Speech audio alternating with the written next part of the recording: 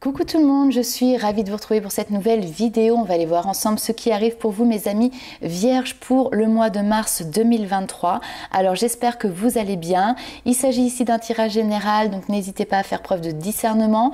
Vous pouvez également aller faire un petit tour du côté de votre ascendant et de votre signe lunaire puisque ça vous donnera un complément d'information par rapport à ce tirage. Pour les personnes qui souhaitent avoir une consultation personnalisée, je vous ai mis sous euh, la vidéo toutes les informations pour pouvoir me contacter soit via euh, l'adresse mail, soit directement via le site internet, puisque vous allez pouvoir y retrouver une page de réservation en ligne. Dans les liens, je vous en ai rajouté un petit nouveau aussi, c'est le TikTok, puisque ça y est, je me suis lancée euh, sur TikTok, donc avec des nouveaux formats de vidéos. Donc si vous euh, le souhaitez, n'hésitez pas à me rejoindre sur ce format-là. Alors, je vous ai tiré ici une première petite carte pour voir un petit peu quelle était l'énergie, le message déjà pour vous sur ce mois de mars. Et on a ici cette très belle carte de l'alchimie du créateur. C'est-à-dire que là, euh, vous êtes en train de créer, co-créer quelque chose pour vous, pour votre avenir. Ça peut être en lien ici avec des projets. Et c'est aussi cette notion de ne pas oublier qu'on est le créateur de sa vie. Vous avez ici avec vous euh, tout ce dont vous avez besoin. Donc ça peut être aussi un moment de réflexion pour se dire, OK, euh, quels sont mes talents, quels sont mes potentiels, qu'est-ce que j'aime faire, qu'est-ce que qu'ont pu m'apporter en fait aussi mes expériences du passé euh, pour pouvoir justement euh, m'aider aussi dans euh, aujourd'hui la création d'un projet, d'une nouvelle voie. Alors on va aller un petit peu plus loin avec l'oracle des fées pour voir un petit peu un message complémentaire pour vous les amis vierges. On peut avoir ici aussi des âmes d'artistes hein, avec cette notion de création.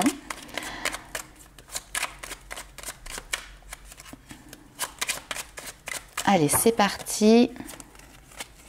Nous avons la fée marraine. Alors ici, la fée marraine est là pour te rappeler ta valeur. Les fées se sont penchées sur ton berceau pour te prodiguer des dons merveilleux, sais-tu les reconnaître? Vous voyez, donc quand je vous disais cette notion de euh, prendre un petit temps de réflexion justement pour se questionner sur quels sont vos talents, quels sont vos potentiels, quels sont vos dons, pour pouvoir derrière les utiliser, et euh, eh ben voilà, on, vous remet ça ici comme ça. Donc je pense que euh, le message est relativement clair. On va aller voir un petit peu plus loin avec l'oracle des météores.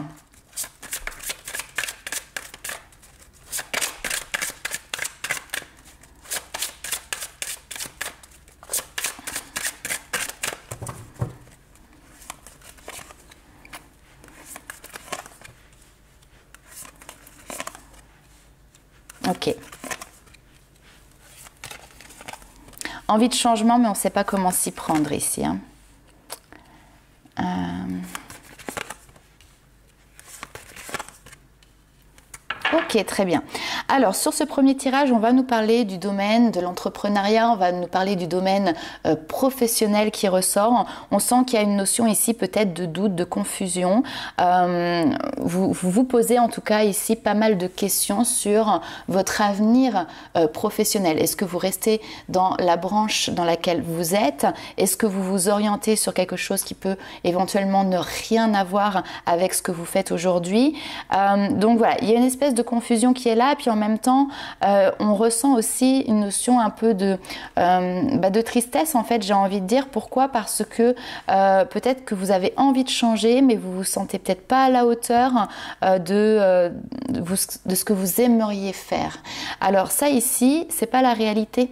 Parce que justement, on vous dit, hein, vous avez les potentiels, vous avez les dons, vous avez les talents, hein, vous pouvez mettre en place ce que vous souhaitez.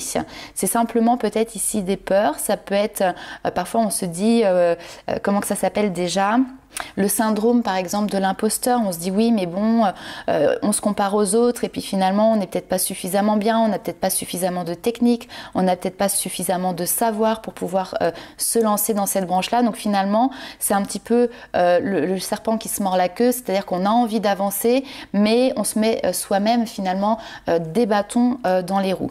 Donc là, ici, il y a quand même quelque chose qui va mûrir. Hein.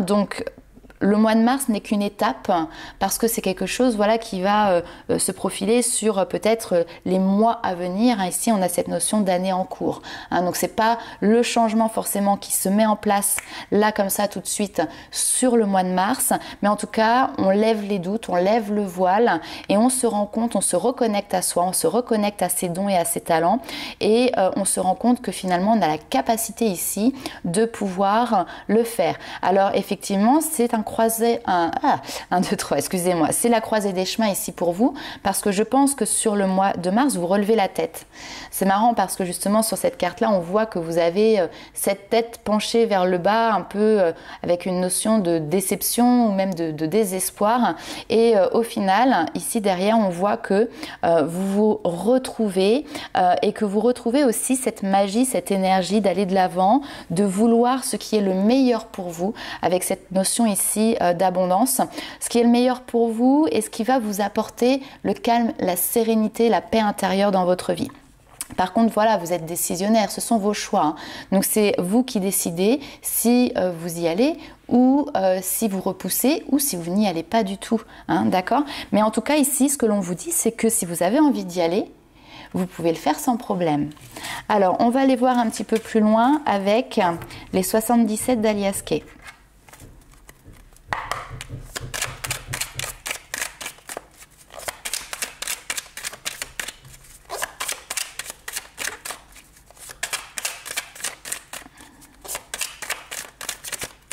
Alors, on va se faire un petit tableau en 9 cartes. C'est parti.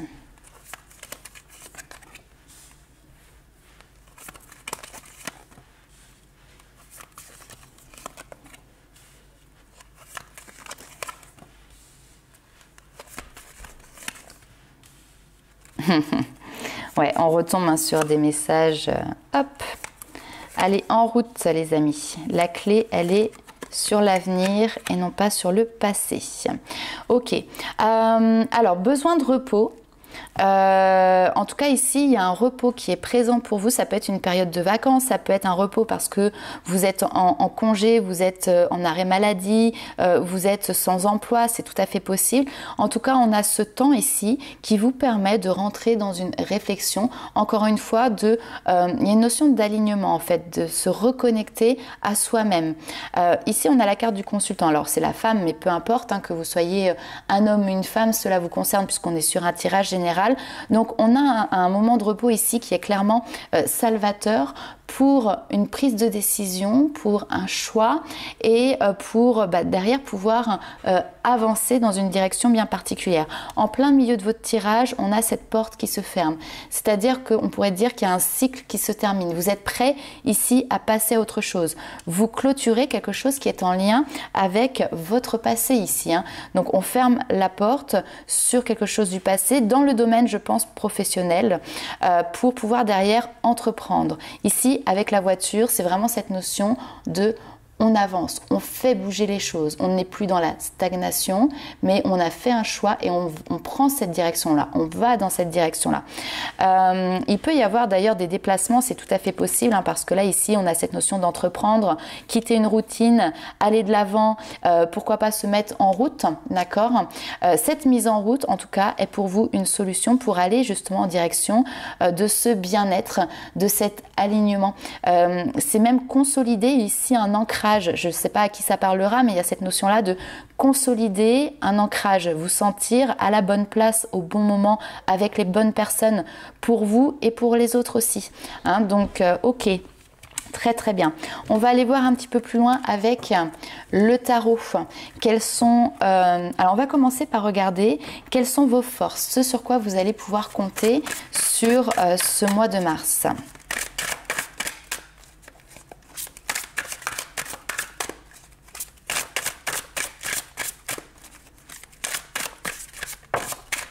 Alors, le valet de denier. Le valet, c'est les prémices de quelque chose euh, qui arrive aussi pour vous. Donc, on a une notion ici d'apprentissage, de nouvelles compétences, l'envie la nouvelle, puisqu'on est vraiment sur cette notion de nouveauté, l'envie nouvelle de pouvoir concrétiser quelque chose. Le denier, on est toujours dans quelque chose qui va prendre vie, qui va se concrétiser dans le réel. Le valet, on est sur quelque chose qui commence, les prémices. On est au début du cheminement, au début du chemin.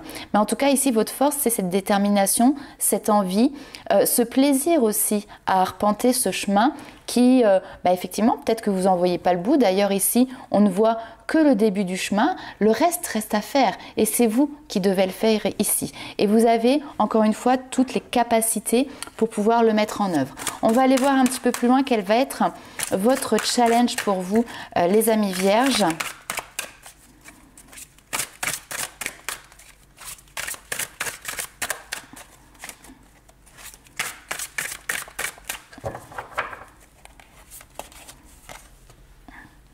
Le 4 d'épée. Alors, votre challenge, ça va être de sortir ici d'une zone de repos. Vous voyez, tout à l'heure, on avait cette notion de, de, temps de pause. Ok, le temps de pause a été pertinent peut-être encore pertinent aujourd'hui, mais ici, euh, vous avez de nouveau une nouvelle bataille, entre guillemets, à mener, vous avez des, choses à défendre, un projet à défendre, et si vous restez ici dans cette zone finalement euh, de ressourcement, de prendre le temps, etc., euh, votre projet ne va pas avancer tout seul de son côté. Donc votre challenge ici, c'est effectivement d'avoir suffisamment de ressources en vous, donc prendre le temps de retrouver une énergie pour pouvoir mener ici une nouvelle voie, un nouveau chemin, un nouveau, entre guillemets, combat. C'est quelque chose que vous défendez, c'est un projet de cœur ici euh, qui vous fait avancer. Donc d'engendrer suffisamment d'énergie pour pouvoir y aller et donc du coup sortir ici euh, de cette zone, euh, j'ai envie de dire, de, de, repos. Alors on va aller voir un petit peu ce sur quoi vous allez devoir faire attention aussi tout simplement. Alors hop. Le 6 d'épée, on a une notion de transition. Alors, euh, vous êtes de toute manière à l'aube ici d'une transition euh, qui peut, comme je vous l'ai dit, toucher le domaine professionnel, mais voyez aussi comment ça vous parle, vous pouvez l'adapter à, un autre domaine. Vous êtes à l'aube de cette transition. Par contre, pour pouvoir effectuer cette transition en bonne et due forme euh, pour vous, ce qui est important en fait d'avoir en tête, c'est que vous n'allez pas pouvoir amener tout votre passé avec vous. comme on l'a vu tout à l'heure, il y a des choses à clôturer. Le 6 d'épée, en fait, on part euh, d'une rive pour aller à une autre. Le chemin est plutôt tranquille, hein. on le voit, l'eau est calme. Ici, on n'a pas de, vagues, on n'a pas de tempête. En plus, on quitte euh, voilà, une situation qui était un petit peu euh, grisâtre, nuageuse. Peut-être qu'il y avait de l'ennui aussi ici dans votre quotidien pour aller en direction de ce qui cette percée là dans les nuages, ce côté lumineux, chaleureux. Donc, vous vous êtes dans la bonne direction, mais par contre, n'emmenez pas avec vous euh, des pensées qui sont limitantes, des peurs, des craintes, euh, des blessures du passé. Vous voyez, tout ça, vous le laissez sur la première rive, celle que vous quittez, pour n'emmener avec vous que le strict nécessaire, les, pensées, euh, toutes les croyances qui vont vous servir, qui seront positives pour vous porter dans votre projet. On va aller voir donc maintenant euh, quelle est le, la carte synthèse ou une carte conseil pour ce mois de mars.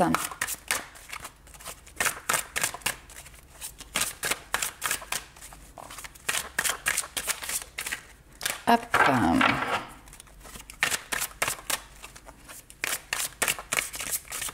Alors, c'est parti. Celle-ci à venir aussi. Faire un choix. Alors, les amoureux, c'est la carte du choix. Vous avez plusieurs possibilités, mais vous êtes décisionnaire ici. Vous pouvez vous retrouver effectivement face à plusieurs possibilités, plusieurs opportunités. Euh, le conseil ici, c'est de regarder les choses avec logique, avec pragmatisme. Vous avez cette capacité ici à pouvoir discerner euh, de manière très rationnelle, très raisonnée, euh, la manière dont vous souhaitez avancer, ce que vous voulez, ce que vous ne voulez plus, là où vous, vous aimeriez en fait aller aussi pour la suite. Donc cette énergie de reine qui vous permet d'ailleurs d'avoir les bonnes réponses parce que vous avez les connaissances, n'hésitez pas à en user, en abuser sur euh, ce mois de mars. Encore une fois, euh, vu qu'on est dans le côté très logique, euh, pragmatique, raisonné, n'hésitez pas à coucher sur papier aussi. souvent, je dis, on fait un tableau, c'est très basique, hein, mais c'est le pour, le contre, quelles sont mes compétences, quelles sont mes lacunes, qu'est-ce qu'il me manque pour pouvoir y aller, pour pouvoir derrière, justement, analyser. Hein. La reine d'épée, elle est dans l'analyse aussi. Hein. donc euh, voilà. Ok, très bien. Bon, analysez les choix qui s'offrent à vous. Les amis vierges. On va aller voir ce qui se passe pour vous maintenant du côté love, du côté sentimental.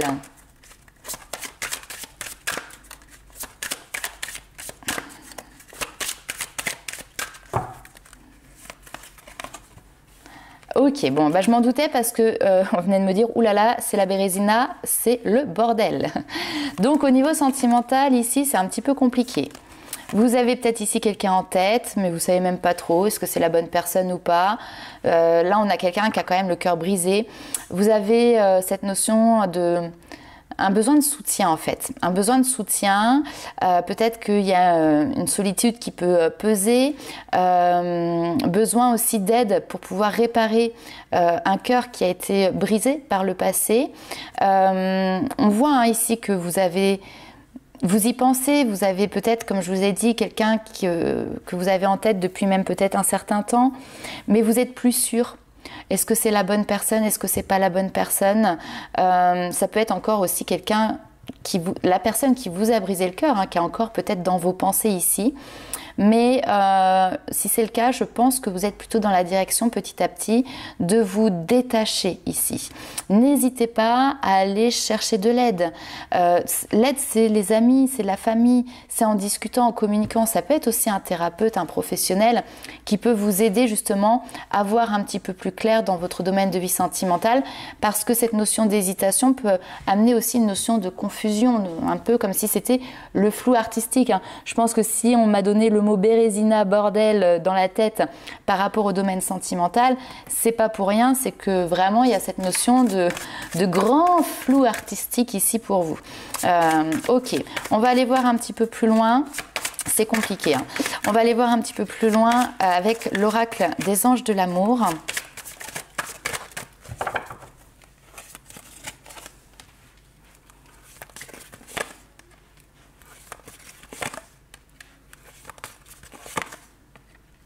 Ok, on me parle d'étapes.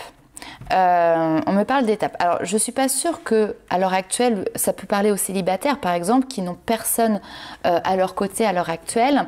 Euh, si c'est le cas, on vous dit, dans la manière d'appréhender ici une relation sentimentale, ne vous précipitez pas, d'accord?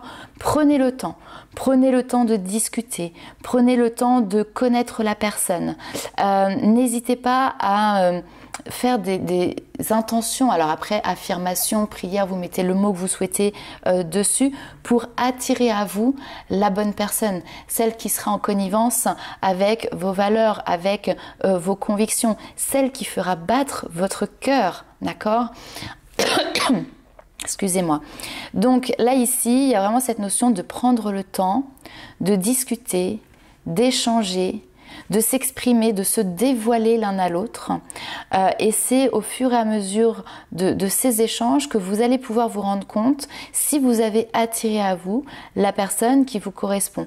Et j'ai l'impression que voilà, les sentiments viendront après. Et c'est à partir du moment où vous sentez ces émotions venir, revenir, que vous allez pouvoir ici laisser une place, laisser une chance à cette relation de voir le jour, d'exister en fait tout simplement. Alors on peut aussi avoir quelqu'un euh, qui a vécu ici une séparation, une séparation qui peut être récente, qui peut peut-être même être encore euh, en cours. Et du coup, euh, il y a peut-être quelqu'un voilà qui pense à vous, qui commence à à vous approcher, euh, à se dévoiler vis-à-vis de vous. Et vous, vous êtes dans l'hésitation parce qu'en fait, vous êtes peut-être encore dans cette démarche de séparation. Par exemple, s'il y a un divorce, c'est peut-être encore des formalités, des papiers, etc. Tout simplement, la séparation est peut-être encore trop fraîche et que vous, dans votre tête, c'était niette, je ne veux plus rien, je veux prendre du temps pour moi. Euh, c'est peut-être voilà quelque chose qui était important pour vous et finalement, là, il peut y avoir quelque chose, une personne comme ça qui arrive, qui vous le doute. Donc tout simplement, vous dit, ne fermez pas la porte. Voilà, encore une fois, euh, créez du lien, renforcez vos liens au travers euh, d'échanges et puis euh, vous verrez peut-être que vous avez attiré à vous ici une personne qui est en connexion et qui est sur la même base que vous en fait. Hein. Et peut-être que justement, eh ben, à un moment donné, vous allez avoir cette hésitation qui va s'effacer, s'estomper et qui va permettre plus tard, euh, de pouvoir justement laisser une place à euh, cette relation. Ok, on va aller voir les petits messages des guides. Alors, message des guides, on est ici sur quelque chose qui est de l'ordre du développement personnel. Hein. donc, c'est des, petits conseils pour pouvoir euh, vous aider à, cheminer vous-même sur la voie qui est la plus juste pour vous.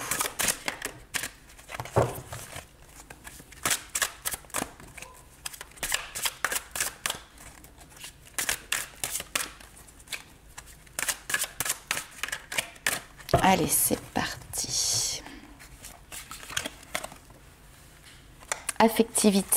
Ok. Conscience. Résonance, ok. Euh, il y a besoin ici peut-être pour vous de prendre conscience de ce que vous avez besoin dans le domaine affectif quels sont vos besoins euh, Se poser tout simplement aussi pour réfléchir à ça. Est-ce que vous avez besoin d'une personne euh, qui est présente à vos côtés, par exemple, où on est sur une notion voilà, de confort parce qu'on est accompagné et ça vous suffit? Tant que ça vous va, c'est très bien. Est-ce que vous avez besoin euh, d'une relation qui est plus intense avec vraiment une notion d'amour intense, présent, etc. donc voilà, se poser la question de euh, finalement de quoi avez-vous besoin aujourd'hui qui viendrait euh, nourrir euh, votre affectivité? Qu'est-ce que vous pouvez faire ou être aujourd'hui, maintenant, pour accueillir justement ce qui pourra vous nourrir affectivement? Donc il y a une notion vraiment de pouvoir prendre conscience Hein, ici, euh, prendre conscience euh, de, ce domaine affectif dans lequel il y a certainement un besoin, un besoin qui doit être compris, un besoin qui euh, peut-être demande aussi à être comblé. Et donc peut-être qu'il est temps aussi aujourd'hui pour vous de reconsidérer certaines de vos idées reçues pour revenir à un sentiment intérieur de ce que vous savez être aussi votre vérité, vos besoins. Prenez aussi conscience que au fur et à mesure que euh, vous évoluez, que vous avancez, la fréquence d'amour, euh, de sagesse en vous est en train de changer. Vous êtes en train de vous éveiller, vous êtes en train de vous aligner ici à de nouvelles vibrations, des vibrations de joie. Vous êtes en train de choisir de vivre votre vie dans un état d'esprit euh, beaucoup plus rayonnant, beaucoup plus positif. Et en étant dans cette notion d'alignement, d'entièreté, finalement, ça va se refléter aussi sur les autres, sur votre environnement. Euh, ça va les encourager à devenir aussi plus curieux de leur propre brillance. Et donc c'est ça aussi cette notion de résonance, c'est ce qui se passe euh, chez vous, en vous, va aussi avoir une résonance en miroir dans votre environnement. Et l'inverse est vrai également, c'est-à-dire que par résonance des personnes que vous allez rencontrer, vous allez aussi prendre ce dont vous avez besoin. Et du coup, en vous alignant ici avec les nouvelles opportunités, euh, eh ben, vous allez pouvoir créer une nouvelle dynamique collective qui va vous permettre ben, de pouvoir baigner dans cette notion d'harmonie, de bien-être et même bien plus encore. Donc on a encore cette notion ici de création qui ressort. Donc voilà les amis vierges pour vous pour euh, ce mois de mars. J'espère que ce message vous aura parlé. N'hésitez pas à liker, commenter et partager euh, la vidéo. Et puis bah écoutez, nous on se retrouve très bientôt pour de nouvelles aventures. Ciao